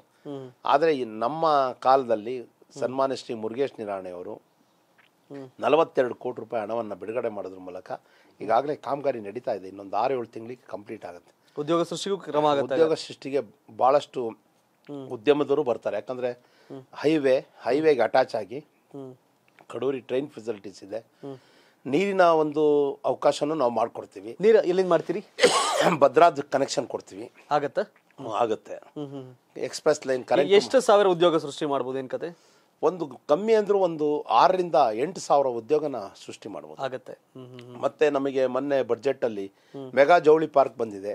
ಯಾವ ಸೆಂಟ್ರಲ್ ಸ್ಟೇಟ್ ಅಲ್ಲ? ಸ್ಟೇಟು ಓಕೆ ಸ್ಟೇಟ್ ಬಜೆಟ್ ಅಲ್ಲಿ. ಓಕೆ ಓಕೆ ಅದರಿಂದ ಏನು ಲಾಭ ಆಗುತ್ತೆ? ಜವಳಿ ಪಾರ್ಕಿನ ನಿರ್ಮಾಣ ಆಗೋದ್ರಿಂದ ಸಾಕಷ್ಟು ಜನರಿಗೆ ಉದ್ಯೋಗ ಕಲ್ಪಿಸುವಂತ ಕಲ್ಪಿಸುವಂಥ ನಿಟ್ಟಿನಲ್ಲಿ ಕೆಲಸ ಆಗುತ್ತೆ. ಇವೆಲ್ಲ ಜಾರಿ ಆಗುತ್ತೆ ಆದಷ್ಟು ಬೇಗ? ಈಗಾಗಲೇ ಕಣ್ಣೆದುರಿಗೆ ನಡೀತಾ ಇದೆ. ಕಡೂರು ಕಡೂರ್ ಜನ ನೋಡ್ತಾ ಇದಾರೆ ಕೆಲಸಗಳಲ್ಲಿ ಕೆಲಸಗಳನ್ನೆಲ್ಲ. ನೋಡ್ತಾ ಇದ್ದಾರೆ ತಾವುಗಳು ಸಹಿತ ಬಂದ್ರೆ ಅದನ್ನು ಒಂದ್ಸರಿ ಡೆಫಿನೆಟ್ಲಿ ನಾವು ಅಲ್ಲಿಗೆ ಬಂದಾಗ ಅದನ್ನ ಜನಗಳು ತಿಳಿಸೋ ಕೆಲಸ ಮಾಡ್ತೀವಿ. ಮತ್ತೆ ಆಸ್ಪತ್ರೆ ಆಸ್ಪತ್ರೆಯ ಒಂದು ಅಂದ ಚಂದವನ್ನ ನಾನು ಹೇಳೋದ್ರ ಬದಲು ನೀವು ಅಲ್ಲಿ ಜನಗಳನ್ನ ಕೇಳಬೇಕು. ಆಸ್ಪತ್ರೆ ಅರೇಂಜ್ ಆಗಿದೆ ಹಂಗಾರೆ? ಬಹಳ ಚೆನ್ನಾಗಾಗಿದೆ. ಡಾಕ್ಟರ್ಸ್ ಒಳ್ಳೆಯ ಡಾಕ್ಟರ್ಸ್ ಇದ್ದಾರೆ. ಒಳ್ಳೆ ಔಷಧೋಪಚಾರ ಆಗ್ತಾ ಇದೆ. ಪ್ರತಿ ಬೆಡ್ಡಿಗೂ ಆಕ್ಸಿಜನ್ ಸಪ್ಲೈ ಇದೆ. ಎಲ್ಲ ಎಷ್ಟು ಬೆಡ್ ಇದೆ ನಮ್ದು? ನೂರ ಐವತ್ತು ಬೆಡ್ ನೂರ ಐವತ್ತು ಬೆಡ್ಡಿಗೂ ಇದೆ. ಕಡೂರು ಜನ ಆಸ್ಪತ್ರೆ ವಿಚಾರದಲ್ಲಿ ಆರೋಗ್ಯ ಆಸ್ಪತ್ರೆ ವಿಚಾರದಲ್ಲಿ ನಮ್ಮ ಕಡೂರು ಜನ ನೀವು ಅಲ್ಲಿ ಬಂದು ನೋಡಿದ್ರೆ ಹೊರ ರೋಗಿಗಳು ಒಂದ್ ದಿವ್ಸಕ್ಕೆ ಎಷ್ಟಿರ್ತಾರೆ? ಎಷ್ಟು ಚೆನ್ನಾಗಿ ನಮ್ಮ ಡಾಕ್ಟರ್ಸು ಮತ್ತೆ ಸಿಬ್ಬಂದಿ ವರ್ಗ ಎಷ್ಟು ಚೆನ್ನಾಗಿ ನೋಡ್ಕೊಂತ ಇದ್ದಾರೆ ಒಳಗೆ ಇರುವಂತ ಬಾತ್ರೂಮು ಟಾಯ್ಲೆಟ್ ಎಲ್ಲವನ್ನು ತಾವು ಸೂಕ್ಷ್ಮವಾಗಿ ನಿಮ್ಮ ತಾಲೂಕಿನ ನಿಮ್ಮ ಕ್ಷೇತ್ರದ ಯಾರು ಕಾಯಿಲೆ ಕಸಾಲೆ ಬಂದವರು ಬೇರೆ ಕಡೆ ಹೋಗ್ತಿಲ್ಲ ನಿಮ್ಮಲ್ಲೇ ಟ್ರೀಟ್ಮೆಂಟ್ ನಮ್ಮಲ್ಲಿ ಖಾಸಗಿ ಆಸ್ಪತ್ರೆಗಳು ಸಾಕಷ್ಟು ಇದ್ರೂ ಸಹಿತ ಸರ್ಕಾರಿ ಆಸ್ಪತ್ರೆಗೆ ಸಾಕಷ್ಟು ಜನ ಬರ್ತಾರೆ. ಚೆನ್ನಾಗಿರೋರೇ ಬಂದು ಅಲ್ಲಿ ಚಿಕಿತ್ಸೆ ತಗೊಳ್ಕೊಳ್ಳುವಂಥದ್ದು ಇದೆ. ಅಂದ್ರೆ ಲೈಕ್ ಸಣ್ಣ ಪುಟ್ಟ ಆದ್ರೂ ಕೂಡ ಆಸ್ಪತ್ರೆಗೆ ಬಂದು ಟ್ರೀಟ್ಮೆಂಟ್ ತಗೋತಾರೆ. ಟ್ರೀಟ್ಮೆಂಟ್ ತಗೊಂತಾರೆ. ಒಳ್ಳೊಳ್ಳೆ ಡಾಕ್ಟರ್ಸ್ ಇದ್ದಾರೆ ಒಳ್ಳೆ ಫಿಸಿಷಿಯನ್ ಇದ್ದಾರೆ ಒಳ್ಳೆ ಗೈನಕಾಲಜಿಸ್ಟ್ ಇದ್ದಾರೆ ಒಳ್ಳೆ ಸರ್ಜನ್ ಇದ್ದಾರೆ. ಎಲ್ಲ ನಮ್ಮ ಹಾಸ್ಪಿಟಲ್ ಎಲ್ಲ ವಿಚಾರಗಳು ಇದೆ. ನ್ಯಾಷನಲ್ ಲೆವೆಲ್ ಅಲ್ಲಿ ನಮ್ದು ಎರಡನೇ ಸ್ಥಾನ ಪಡೆದಿದೆ. ಅದು ಆಸ್ಪತ್ರೆ. ಅದು ದಾಖಲೆ ಮೂಲಕ ತಾವುಗಳು ತಿಳ್ಕೊಬಹುದು. ನಾನು ಹೇಳೋದ್ರಲ್ಲಿ ಏನೋ ಒಂಥರ ಉಪಕರಣಗಳು ಸ್ಪೆಷಾಲಿಟಿ ವ್ಯವಸ್ಥೆ ಎಲ್ಲ ನೀಟಾಗಿದೆ ನಮ್ಮ ಒಂದು ಏನು ತಾಲೂಕು ಮಟ್ಟದಲ್ಲಿ ತಾಲೂಕ್ ಮಟ್ಟದ ಆಸ್ಪತ್ರೆನ ನಾವು ಹೇಳಂತದ್ದು. ಇಡೀ ತಾಲೂಕು ಮಟ್ಟದ ಆಸ್ಪತ್ರೆನ ಗಮನಿಸಿದ್ರೆ ಓವರ್ ಆಲ್ ನಮ್ಮ ತಾಲೂಕಿನ ಆಸ್ಪತ್ರೆ ತುಂಬಾ ಚೆನ್ನಾಗಿದೆ.